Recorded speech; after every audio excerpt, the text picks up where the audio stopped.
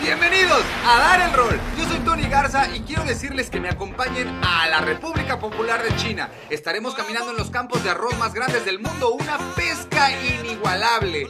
Conoceremos mujeres con el pelo de más de dos metros de largo, nadaremos, cantaremos, comeremos un sinfín de bichos y cosas raras y nos la pasaremos riendo y divirtiéndonos, así es que acompáñenme a dar el rol.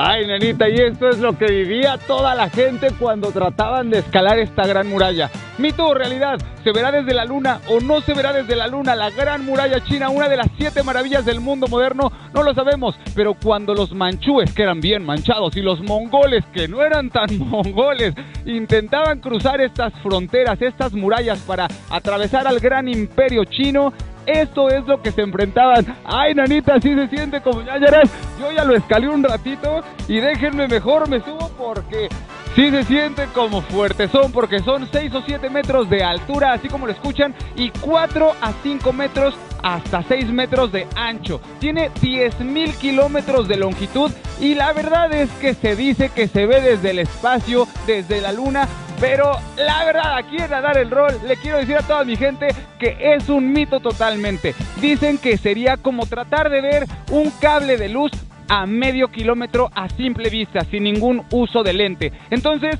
aquí en este programazo, a dar el rol, les decimos, es totalmente un mito que la muralla china se ve desde el espacio.